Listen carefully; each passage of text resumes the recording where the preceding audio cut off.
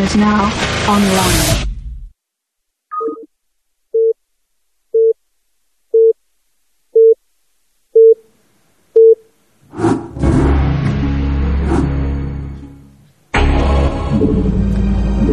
All right, here we have started our second game. Uh, we have sOo here at uh, Creation Toss. I'm sorry, at the uh, seven o'clock ish position, um, and then here we are with Sky High at the three o'clock position. Now, Medusa being a three-player map, right? Yes, it is a three-player map, and um, because of that, we uh, usually see scouting a little bit later. But this is kind of a weird three-player map. Actually, to be honest, most three-player maps, um, you know, they take a lot of practice to really get all the timings out.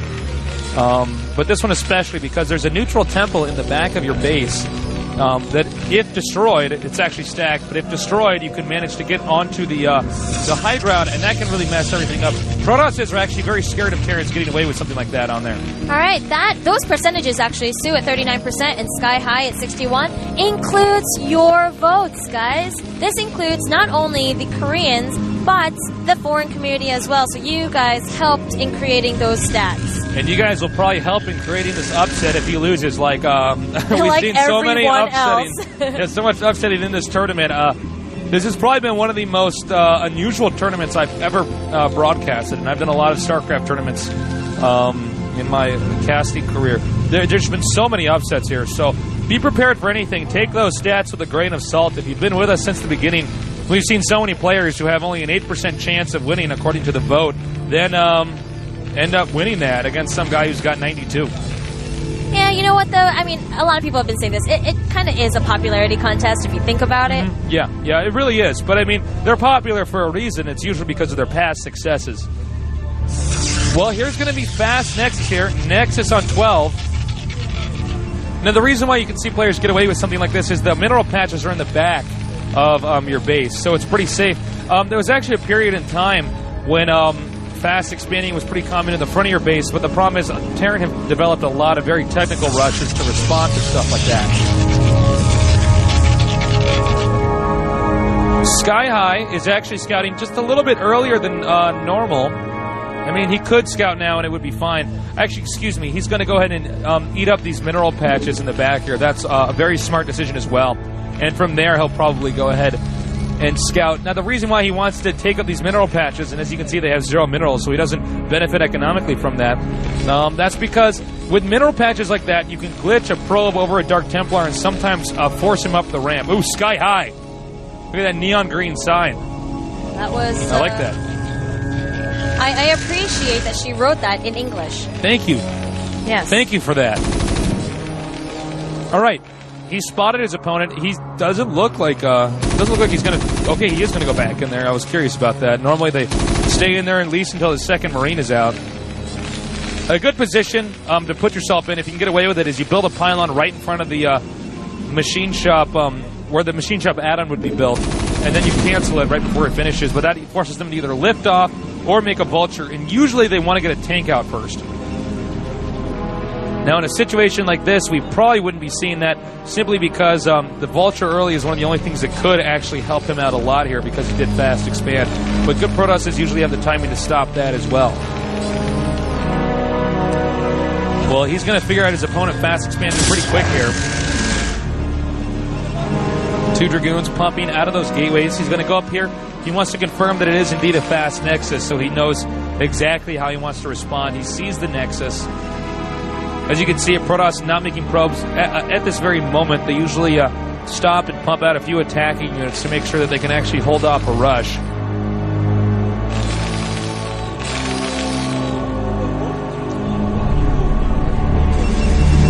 And Dragoon range is on the way as well.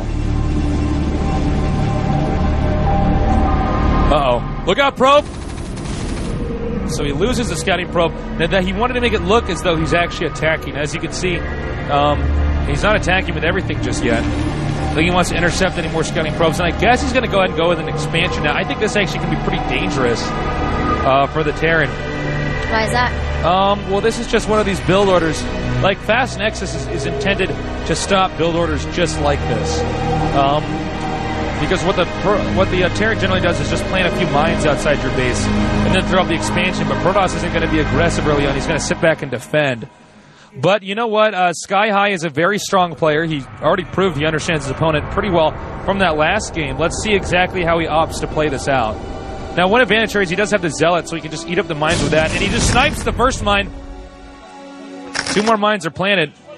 But from here, he can just send that Zealot in to absorb most of the mine hits.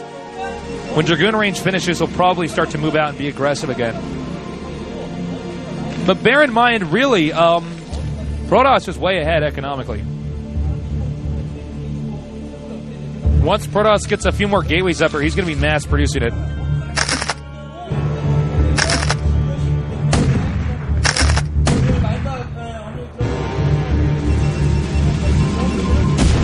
Alright, so now that that's finished.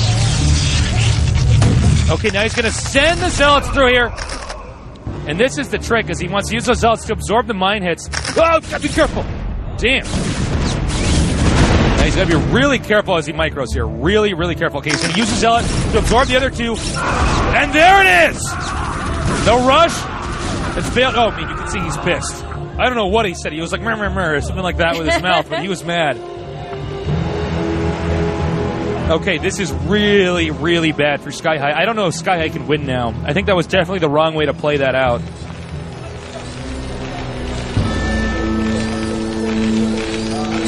Basically, what do you think Sky High can do now? Um, well, I don't know actually because Sky High is really, really behind. Sky High can uh, go ahead and try to do another timing push, maybe attack the temple that isn't far from his base. But the problem is when Protoss gets the fast Nexus up and then gets an additional Nexus up while holding off the rush. In fact, it looks like I don't see. I think he's going to Reaver drop. Oh yeah, there it is. Yeah, he is going to Reaver drop. So that means that Sky is going to have to defend that first. Now, Sky loses um any anything more. I mean, he's going to be in even more trouble. And um, this is really geared to hurt the Terran's economy even more. He's going to go by the tanks. The tanks have got to hurry up and get over there. The SCVs are quite vulnerable. And I think he might try to. Nope. What's he going to do? He was just flying over restricted airspace. Okay.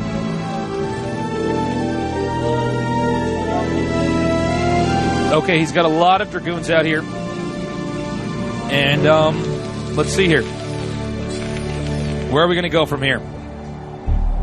It looks as though uh, Terran's still anxious to push. Is putting a few more mines out here. Now, one thing you got to bear in mind: if your opponent goes fast Nexus on you, he's going to get observers out very late. So it's never a bad idea to just plant a lot of mines um, outside of his base and try to contain him to control um, what he's going to do. But once he does get the observers out, and you can see the observatory just finished, he's going to be quite a powerful force. And I think Protoss is probably going to go for another expansion pretty soon here, um, as he should have enough gateways, uh, units, and defense here that he can get away with that. Terran just in a very, very difficult position here. Well, he's got two Reavers in here. Now, one thing about Reavers is that they're not only good at, uh, for harassment, they're good at holding off pushes as well. Especially if the Terran is going to um, soft push and not hard push. And bear in mind, they can't hard push on this map. You can't build anything in the middle of the map. So Creation Toss is definitely still in this game.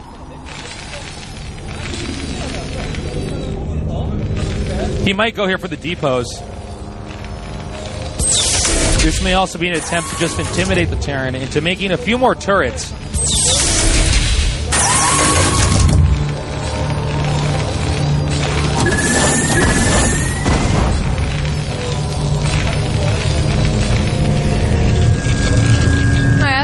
You about that. Why is it that he's just kind of uh, mulling that shuttle around without actually attacking anything? Well, this prevents the Terran from pushing any earlier. Um, I mean, the last thing Terran wants to do is lose any SCVs. So what he does, he kind of flies around here, and if there's an opening, of course, he's going to take it. But what he's really doing is making Terran move his units around here, and uh, making it look as though he's going to be really aggressive here. And um, Terran either has to make additional turrets here, um, can. Man, he's getting really good shots up on these mines. Well, yeah, he's going to have to do something to prevent that.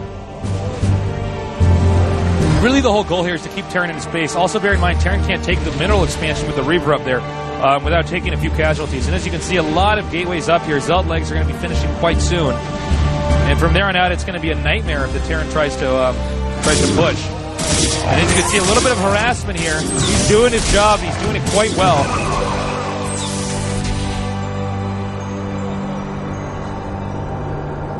All right, a few vultures are going to try to slip in here. He doesn't want to let these vultures in. He doesn't want to let him in. Doesn't want to let him in. They do get in. Unfortunately, two managed to make it back here to the minerals. Planting a few mines here. The probes are going to evacuate. And um, actually, I don't. Is, I don't think the Protoss is sending any units right away. He's not certainly not sending his entire army there. There it is, one zealot. Um, probably not going to be enough. Some more units will come up there in a little bit, though. Now, Terran is hoping that the Protoss is going to put the majority of his army inside of his base so he can get some ground here, push, um, maybe attacking the temple. He's going to make another Reaver. Well, the Reaver's already out, excuse me, and now he's going to use that to try to hold up the push. The push has started. This is Sky High's basically one and only uh, hope right now. He's going to go ahead and attack it anyways. He sees there's not enough vultures.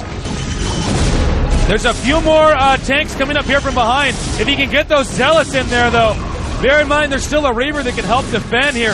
One Spider Mine comes down. Uh, and yeah, Creation Toss is just doing a, a, fantastic job of holding this off so far. And with the Reaver coming out here, there's no way Terran's going to get any farther across the map here. Everything is going according to Creation Toss's plan. Looks like he's getting revenge for What? that last loss. Oh no! Loses the shuttle with the Reaver, but I think the damage may have already been dealt. I can already envision Ghosts' fingers macroing up a lot more Dragoons and Zealots to reinforce this. Sky High is desperately trying to plant a circular mine defense around here to hold off anything else that may be out here. But with an observer on the way, um, I just don't see this being too much more effective um, as far as defense goes for our Terran uh, players. Wow, I mean, Terran's already stuck way back in his base. Protoss is just bringing more units down here. I expect GG pretty soon, depending on how much farther along uh, Sky High wants to play this out, because right now it just doesn't make any sense um, for the Terran to continue on with this. Templar Archives is coming up. He's going to have um, Arbiters out here pretty soon, as well as Psystorm. Running those Vultures by is going to let the, um, well, it's going to let the Protoss just bleed right in there. And when these Zealots get here, I think it's I 100%. think it, yeah. He's gone. The command center is getting wiped out here. Looks like there's one that just got finished filling up in the back here, but he doesn't have Vespene gas for that, which means less tanks, which means less push ability. This is just bad news all around. Sky High knows that. Sky High is feeling that right now. We have a bunch of giggling girls. I don't know if you guys can hear it. There's a bunch of giggling girls here. Apparently, um, not Sky High fans. And GG! the GG. Good game. Creation Toss is going to be your winner for that round. We're going to go on to game three here before we enter round two, which, by the way, will be the final match for today. Creation Toss. Sky High really feeling that one, man. Wow, you know, as abruptly as Creation Toss lost that first game, I feel like, you know, he really got back at him. Sky High just felt a bit of his own medicine right there. Yeah, um, I think Sky High handled that completely wrong. Creation Toss just played it by the books, and it worked out. Um, it seems as though when uh, Sky was practicing at home, he wasn't practicing against Fast Nexus build. So, I mean, that's that. Uh, we're going to go into game three here in a little bit. I don't think we have a break, do we? Uh, not that I know of right Not that now. I know of. We've been owned before, though, so it could happen Nope. again. It says uh, it says please wait. We're almost we're almost in. No break. All right, we're going to be starting this game three here. Um, they're both in the game. Nobody's going to watch the replay. We're going to go right on uh, um, our game on. On. Can you want to say it for me? You want to say it? Chup Niu Chupung Young. It's called Shin, which is the word for new. Chupungyong. The same map. Chupung Young. Say that ten times fast. It's the same map that we had um, earlier in our tournament in the rounds of uh, 256 and 128. Um, it is a two-player map. Now they've uh, revamped it in a way, and I haven't actually gotten a chance to see what is so new about this. But it is um, the new Chupungyong, and uh, here we are. We're going to see it for the first time in our tournament. Yeah, I think they moved a few mineral patches around, um, if I remember right, and just moved a little bit um, of the elevation around um, for balance issues because we want to make sure these maps are as balanced as possible. Generally, the first time um, a map is made, it's not quite that good. So you usually see, you know, 2.0 of the map or Neo or New, something like that, so they can adjust it just a little bit. after the uh, pro gamers get to test drive it a little bit. All right, so I think we are going to start. Uh, we are at one and one at the new Chupungyong, and uh, here we go. Let's get ready. Who's going to win? I don't know. It's going to be awesome, though, either way. Sky High against Creation Toss. Um, Game only- three. Game three. Shin Chupungyong. Winner goes to round eight. Let's find out what happens. Right now.